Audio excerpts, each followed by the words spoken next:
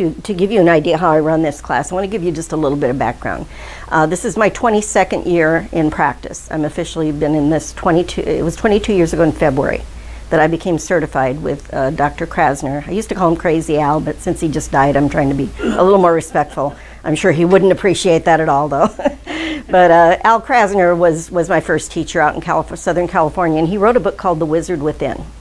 And I'll be bringing that book in quite a bit and uh, referring to it now and then because it's, it's just such a wonderful metaphor for, for a lot of the things we do in hypnosis. It covers a lot of the bases that we cover with most of the techniques and methods that, that we use.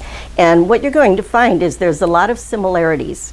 When, when we talk about learning a, a lot of techniques and methods and processes and all these words we use for what do you do when you get the person into the hypnotic state. You know, once they're there, what you do.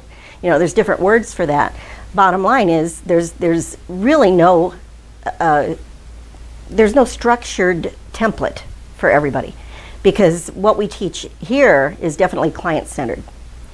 And you're going to learn a lot of techniques and I'm going to teach them to you very very closely to the way to the way they were designed by the people who designed them because I want to stay uh, true to and honor those people the way they developed these techniques and yet, even even some of those, even all of those, probably, if you went back and asked them, like the library technique, for instance, you'll be learning from Dr. Preston, who was also one of my early teachers out in Arizona.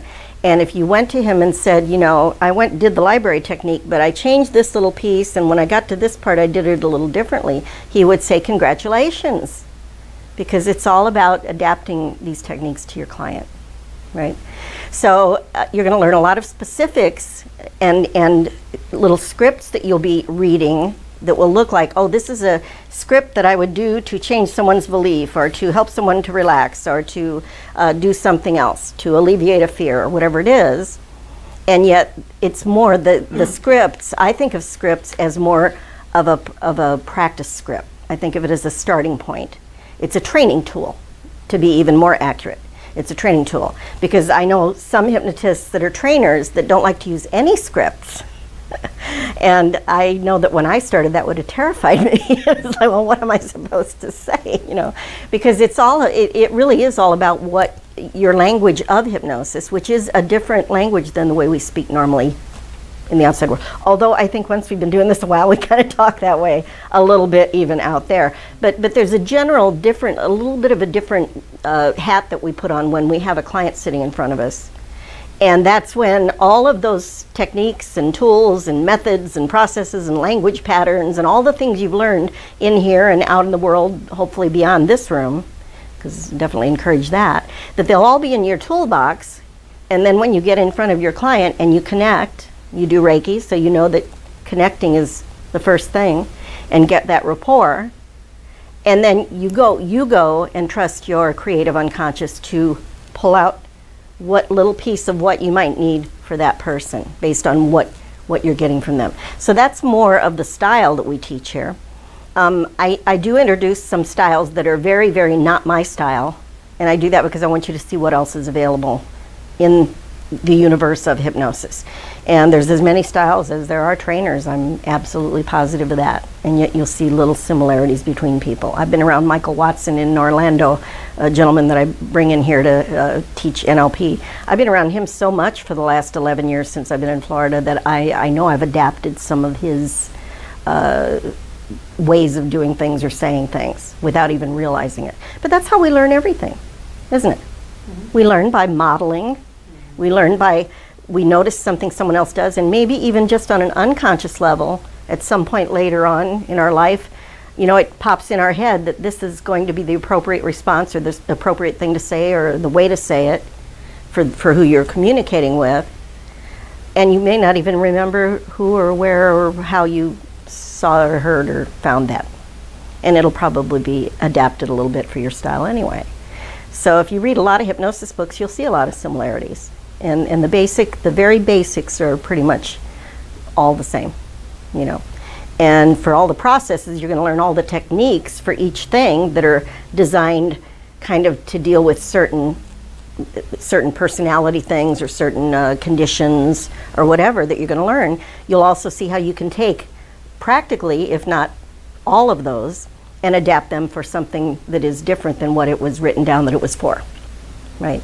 So there's so that's the other thing. Everything is pretty pretty uh, well rounded enough that you can take pieces of different things that you're going to learn and kind of put them all together for the person that you're that you're working with.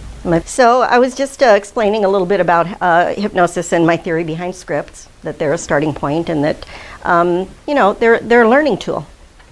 Uh, I love using scripts, and I've had a lot of people come back to me to tell me, "Is it? Are we placed okay?" He's videotaping. Wave the camera. We're going to make you do your introduction in a second here, but let me finish my thought. Um, basically, the, the scripts that you're going to be uh, reading through for practice purposes are a way for you to practice, first of all, getting the uh, some of the language patterns and some of the, the uh, hypnotic patter, as we call it, into your uh, mind, your brain, into your neurology, as they say. And so that as you get used to the different way that you talk when you're using hypnotic type scripts so that they'll kind of start to be automated. And by the time you finish the course, you'll be doing a lot of things where you'll be ad libbing and, and creating your own. Um, you know, scenarios. Actually, even this weekend, you'll be doing one kind of like that before the weekend's over. So uh, just know that, and and the goal, of course, uh, uh ultimately is that when you get the client in front of you, you don't need these scripts anymore. But I still think they're great learning tools. Even um, even after 22 years, I still love reading other people's scripts. They give me ideas. They get your creative juices going, right? Because it's interesting to see different people's styles and how that works. Um, my practice right now, uh, I do pretty much full-time private practice. I work with kids, adults, children, couples. Um, I do a lot of family therapy. And then I've been incorporating more uh, hypnotherapy uh, over the last year, really, uh, using it with uh, pain issues, uh, behavioral medicine issues like dealing with MS and gastrointestinal issues. Um, also using it uh, with depression and building self-esteem. I've done it with kids, and that's that's always interesting uh, because they have great imaginations. Mm. Um, and Patty and I actually, I, well, one of the other things I do is I also am adjunct faculty uh, at Argosy, which is a clinical psychology doctoral program. Mm-hmm. So they have a PsyD doctorate. So I've been teaching there for about eight years, and um, they've we've been talking it up, and they actually uh, have become very interested. So they're uh, actually this past fall, Patty and I did a presentation for their faculty and uh, community psychologists and their students. And uh, so they're going to, actually, they've tried three times, and now they think they have the student base so that this summer I'm going to uh, start teaching in the doctoral program hypnotherapy. I have taught assessment and other therapies and also teach about medicines and things like that. Uh, but this will be the first time that they're incorporating hypnotherapy on a doctoral level.